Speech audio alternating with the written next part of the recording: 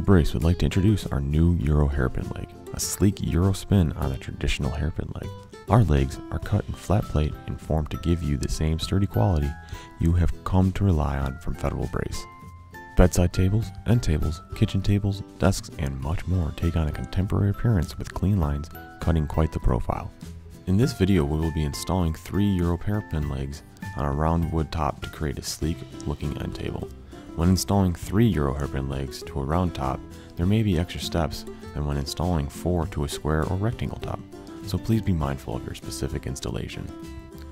To install the Euro hairpin leg you will need 9 quarter inch hex head wood fasteners. The length will be determined by the thickness of your top. Power drill or ratchet with a quarter inch attachment, 5 16 drill bit, protractor, tape measure, and pencil. First we must decide our hole placement. To find the first hole for each leg, you must first pick the placement for the first hole of leg 1. Then, using the protractor, measure out a 60 degree angle to find the first hole for legs 2 and 3.